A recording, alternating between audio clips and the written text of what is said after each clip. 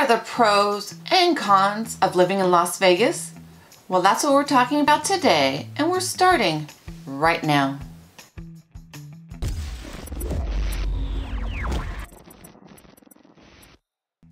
Hey everyone, welcome back to my channel. I'm Angela O'Hare, a realtor here in Las Vegas, Nevada with the O'Hare team at Urban Nest Realty.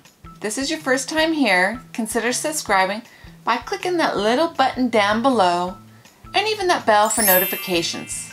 When you think of Las Vegas, you probably think of rolling the dice, playing the slot machines, and even walking the strip with a drink in hand. Locals know that this is a far cry from everything Las Vegas has to offer. Beyond the slot machines, hotels, and neon lights, Las Vegas has the same amenities as any other major city. With that said, living in Las Vegas also holds some drawbacks. Before you pack your bags and move to Sin City, consider these cons alongside the many pros. Here are the top five cons for living in Las Vegas. Number one, hot summers. The summer months here can be very brutal. I'm not gonna lie. June, July, August months with over 100 degrees, sometimes even double digits. Ugh. But it's the price you pay to live in Vegas. I've been in Vegas for over 25 years and I still can't stand the summers here. I cannot get used to it. However, if you do have a home with a pool, it makes the summer so much more bearable. Number two, gambling. Las Vegas is known for its vices.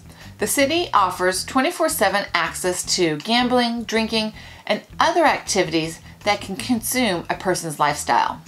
More than a few people have found their lives spiraling out of control in Sin City. Number three, difficulty finding work. Las Vegas is not a city you should move to without having a job already lined up. While the city is great for finding work in the hospitality industry, for those with more established careers, it may be difficulty finding work. Hospitality jobs in Las Vegas tend to pay lower in wages to start and competition for them is pretty fierce. Number four, education. Nevada has ranked worst in the nation in a highly regarded report card for state education systems. Our schools are overcrowded with students and not enough teachers. Number five, you will need a car. It's about a 40 minute drive from one end of the city to the other, so you will definitely need a car to get around here. And public transit is nothing to write home about. Luckily, the city is easy to familiarize yourself with. So we went over the top five cons for living in Las Vegas. Now here is my favorite, the top five pros for living in Las Vegas. Number one, the weather. Las Vegas has more than 300 days of sunshine year round with an average annual temperature of 80 degrees. Plus, another thing, we have very little humidity. Although three months out of the year during the summer, it is extremely hot. The other nine months, it is absolutely gorgeous here and it's unbeatable. It's unbeatable. You can't compare to what other cities are going through right now with the weather and the minus zero degrees. I would take this any day. Number two, no state income tax. If you love saving money, then you'll love moving to Las Vegas because Nevada has no state income tax. Luckily, the gaming revenue helps out Las Vegas locals in that regard. With the money you save on taxes, you'll be able to consider buying a home. Number three, outdoor recreational activities.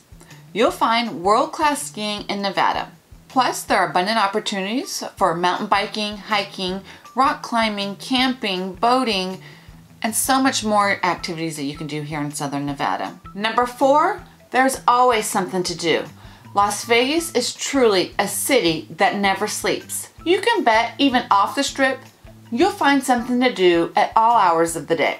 When a large portion of the population work during off hours, businesses serve their clientele at different times. So lots of places stay open later here, if not 24-7. Number five, master plan communities. Scattered throughout the Las Vegas Valley are numerous master plan communities for those that cherish a suburban lifestyle. These areas are distinguished by a tremendous number of amenities and conveniences they offer local residents. Because of their sheer size, master plan communities can incorporate extensive recreational amenities like lakes, golf courses, expansive parks with bike paths, and jogging trails. Las Vegas has more going for it than against it as a place to live, prosper, and retire. Whether or not you take advantage of the Las Vegas Strip, you will still be able to find lots of fun things to do that does not involve the Strip at all. As mentioned earlier, I have lived in Las Vegas for over 25 years, and I don't see myself living anywhere else. In my opinion, the pros definitely outweigh the cons, but you'll just have to find out for yourself. If you like this video, hit the thumbs up button, leave a comment down below, share with a friend, and consider subscribing to my channel if you're interested in learning all things real estate in the Las Vegas Valley. Thank you so much for watching, and I'll see you on the next one.